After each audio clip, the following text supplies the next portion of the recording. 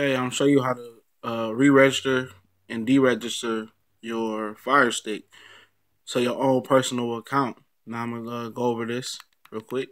Um, you go down to settings once you get in your Fire Stick. Go all the way down to my account.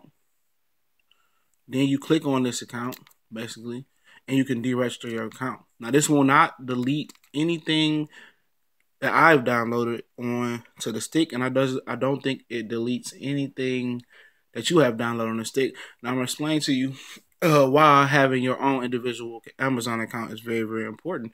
So if you decide that you want to um, get Amazon Prime and what Amazon Prime is, which I'm tired of just uh, reiterating to everybody. Um, personally, I'm signing into the same account.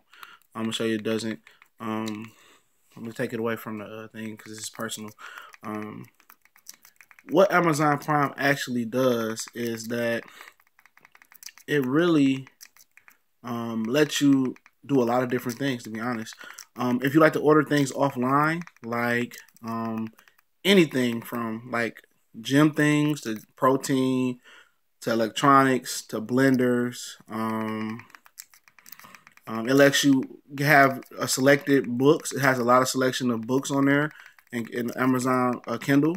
You can have access to books. It has Amazon Music, which is similar to Pandora. It actually has on their music, especially on your TV. If you like to do karaoke night at the crib, I'm registering the stick again. It has uh, it even has lyrics, uh, karaoke lyrics for your music also. And also on the Fire Stick, you actually can download different apps, even with it uh, paid apps that you can find on your phone, regular apps. Amazon Prime has a Netflix-like feature with 4K videos and other TV shows and uh, stuff like that. The movies that you can rent and actually buy, and they have free movies with Amazon Prime that comes on there also. So it's something like Netflix. Also, you actually can download Netflix and do different, different a lot of different things. Now, once you come back into your Fire Stick, um, we'll see. We're gonna go down. See, when you go to home, where's Kodi at? Right? Kodi's not there. So you go all the way down to apps. After you re-register another uh your personal name on there, and Kodi's right there. Go to Kodi, and everything is still there. And uh, one thing about Kodi is, um, to get into the next segment of the video, um, you have to look through Kodi. Um, if you want to find a new movie, like I was looking for Doctor Strange and I couldn't find it. Uh, my girlfriend told me you can go to movies right here, actually, and go to year. Because Doctor Strange is not in the new movie section. You go to 2016, guess what? Give it a minute.